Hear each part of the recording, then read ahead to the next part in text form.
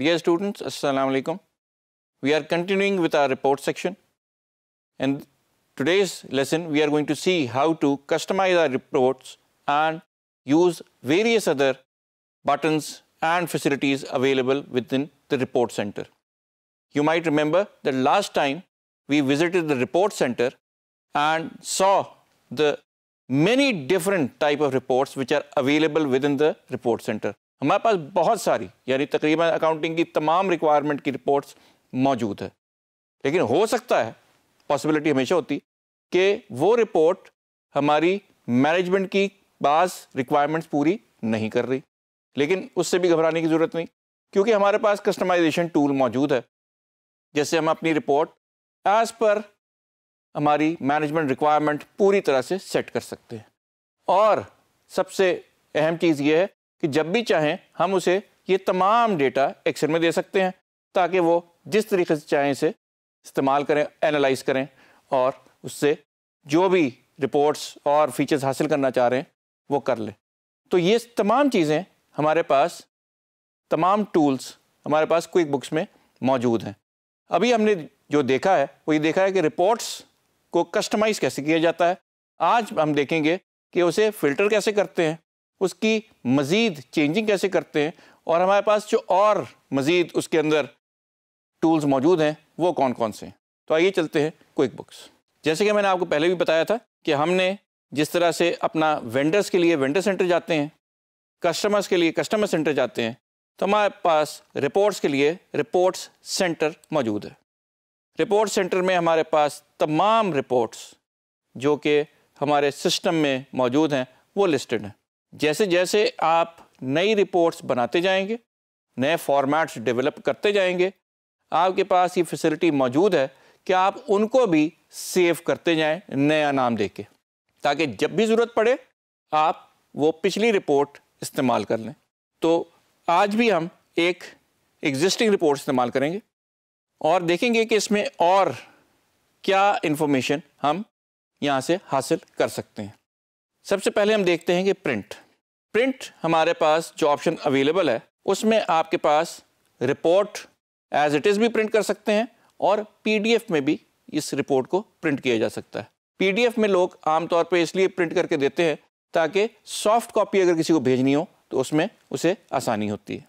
एक चीज़ और जो आपको स्क्रीन पर नज़र आ रही है, वो है कमेंट ऑन अ रिपोर्ट ये एक नया फीचर है जो हमारे पास आया है। और अब ये इन तमाम लाइन आइटम्स के ऊपर हमें कमेंट करने की फैसिलिटी देता है। आइए हम एक छोटी रिपोर्ट पकड़ते हैं ताकि हमें ये ये हमसे पूछ रहा है कि आप जा रहे हैं, क्या इसको आप सेव करना चाह रहे हैं? तो अभी फ़िलहाल हम इसे सेव नहीं करेंगे। हम एक स्टैंडर्ड रिपोर्ट पकड़ते हैं ताकि हमें कमेंट करने में आसानी हो। अब हमारे पास कमेंट के कॉल आउट बॉक्सेस आपके सामने नज़र आ रहे हैं। जिस चीज़ के ऊपर आप कमेंट करना चाहें, आप उस आइटम को पर्टिकुलरली आइडेंटिफाई करें और उसके ऊपर जब आप लिखेंगे, जितने आप कमेंट डालते जाएँगे, उतने नंबर बढ़ते जाएँगे। इस वक्त हमने एक लाइन आइटम पकड़ा है, जिसका नाम है मटीरियल इनकम और इसके ऊपर हम कमेंट कर रहे हैं from sale of construction products और हमने इसे सेव कर लिया। जब हमने ये इसे सेव कर लिया तो अब हमारे पास जब भी हम इसको क्लिक करेंगे तो ये हमें इसकी इंफॉर्मेशन देगा। हमने दूसरी आइटम को हमने सेलेक्ट किया है, उस पर हम एक और कमेंट लिख देते हैं। अब हमारे पास ये सारी इंफॉर्मेशन आ गई। ये जो आपको नज़र आ रही है तमाम कॉल आउट बॉक्सेस जिसके अंदर हम ये कमेंट कर रहे हैं, याद रहे कि ये बेसिकली आपकी रिपोर्टिंग पर्पसेस के लिए। होता ये है कि जब आप रिपोर्ट बना देते हैं तो रिपोर्ट के ऊपर मैनेजमेंट रिमार्क्स मांगती है अकाउंटेंट्स के। और पहले ये हुआ करता था कि इसके प्रिंट निकलता था, उसके बाद हाथ से लोग कमेंट करके दिया करते थे। लेकिन ये फैसिलिटी अब हमारे पास क्विक बुक्स ने खुद दे दी है कि बजाय इसके कि आप हाथ से लिखें या कुछ और इस तरह का काम करें, आपके पास ये कॉल आउट बॉक्सेस अवेलेबल हैं तमाम हेड्स के लिए। आप वहाँ लिखते जाएँ और नीचे आपकी स्क्रीन के ऊपर जितने कमेंट्स आपने किए होंगे, वो आते चले जाएँगे। आपने जो कमेंट किया है, वो सिलेक्ट हो जाएगा और आपको नीचे नज़र आएगा। इस तरीके से हम जो भी कमेंट करेंगे, वो रिकॉर्ड हो जाएगा। जब भी हमारा मल्टी यूज़र सिस्टम में मैनेजमेंट का कोई सीनियर ऑफिसर ये चीज़ चेक करेगा कि इसके बारे में हमारे अकाउंटेंट ने क्या कमेंट किया है तो that will be available on record पहले उसे कोई कागज़ देखना पड़ता था, अब पेपरलेस ऑफ़िस की तरफ़ क्योंकि हम जा रहे हैं तो he does not need to have return record all he needs to is access to QuickBooks उसके पास क्विक बुक्स की एक्सेस होगी, वो अपनी रिपोर्ट खोलेगा। और इस रिपोर्ट के ऊपर जो जो कमेंट आए हैं, वो करता जाएगा। और चाहे तो वो एडिट करके इसके ऊपर अपने भी कमेंट डाल सकता है। तो ये सारी फैसिलिटीज़ हमारे पास अब मौजूद है और अब वो कह रहा है कि एक नए नाम से आप इसे सेव कर सकते हैं। वो हमने इसे सेव कर दिया। तो ये आपने देखा कि हमारे पास मौका था और हमने इसका पूरा फ़ायदा उठाया। We can now comment on reports as well ये पहले इससे पीछे वाले जितने भी क्विक बुक्स के वर्जन हैं, उसमें अवेलेबल नहीं है। इसके बाद वाले तमाम में ये चीज़ अवेलेबल है। इसके अलावा कस्टमाइज बुक्स में आप जाएँ तो यहाँ फ़िल्टर्ड की एक प्रोविज़न मौजूद है। आज क्लियरली आपको ये सारी चीज़ें समझ में आनी चाहिए कि अकाउंट्स में हमारे तमाम अकाउंट्स मौजूद हैं। और जब भी हम प्रॉफिट एंड लॉस स्टेटमेंट बनाते हैं प्रॉफिट एंड लॉस की हम रिपोर्ट बनाते हैं तो वहाँ ऑल इनकम और अकाउंट एक्सपेंसेस नज़र आते हैं।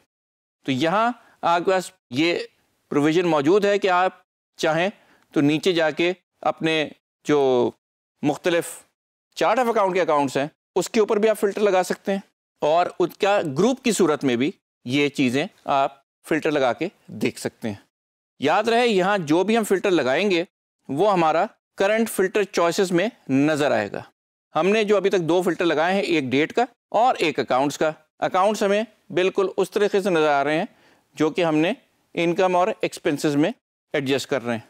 ये तमाम चीज़ें हम रिमूव भी कर सकते हैं, नए भी डाल सकते हैं और इसमें एडिशन भी कर सकते हैं। और मैंने आपको पहले भी बताया था कि हम जो जो चीज़ें यहाँ ऐड करते जाएँगे ऑटोमेटिकली हमारा जो सिस्टम है, वो उसी तरह से अपडेट होता जाएगा। और दूसरी चीज़ जो मैंने आपको पहले भी बताई हुई है, दोबारा बता देता हूँ याद दहानी के लिए कि जब भी हम कोई अपना कॉलम सेलेक्ट करेंगे फॉर फिल्टरिंग तो वो उस कॉलम में मौजूद तमाम अवेलेबल जो उसकी वैल्यूज़ है वो दिखाएगा और आपको एक और चॉइस देगा। वो है कि at the same time you can choose more than one options दोबारा समझ लें इसे। हमारे पास ऑल कस्टमर टाइप्स में चार टाइप ऑफ़ कस्टमर्स मौजूद हैं। नंबर वन हम इनमें से जो भी चूज़ करेंगे फ़िल्टर उसके ऊपर लग जाएगा। लेकिन हम चाह रहे हैं कि फ़िल्टर एक से ज़्यादा चॉइसेस पे लगे। तो हमारे पास वो भी ऑप्शन मौजूद है कि हम एक वक्त में एक से ज़्यादा चॉइसेस के ऊपर फ़िल्टर लगा लें।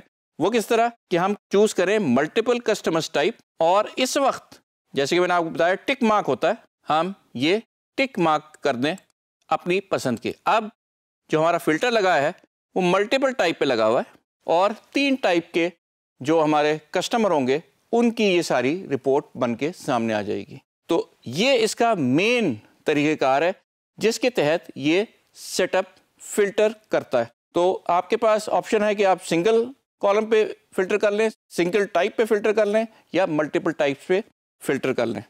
आपने देखा कि हमने रिपोर्टिंग सेंटर में अपनी रिपोर्ट्स को चेंज किया, उनको कस्टमाइज़ किया, उनको फ़िल्टर किया और ये सारी चीज़ें फौरी तौर पे क्विक बुक्स ने कर दी। एक ज़माना था कि हर रिपोर्ट जब चेंज होती थी तो उसे दोबारा से प्रिंट करके तमाम लोगों में बांटा जाता था। आजकल के दौर में ये नहीं होता। रिपोर्टें ऑन द फ्लाई चेंज होती हैं और लोग भी उनको उसी वक्त बैठ के देख लेते हैं। और जब तक वो सेटिस्फाई नहीं होते, वो मुख्तलिफ़ चेंजेस करते रहते हैं। और अगर वो एक जगह बैठ के नहीं देखना चाह रहे तो अपने ही डेस्कटॉप पे उनको ये फैसिलिटी मौजूद है। आपने उन्हें सिर्फ़ ये चीज़ करके देनी है कि किस तरीके से उनकी पूरी रिक्वायरमेंटें हर एंगल हर फ़िल्टर के साथ, हर कॉलम रिक्वायरमेंट के साथ कंप्लीट हो जाए।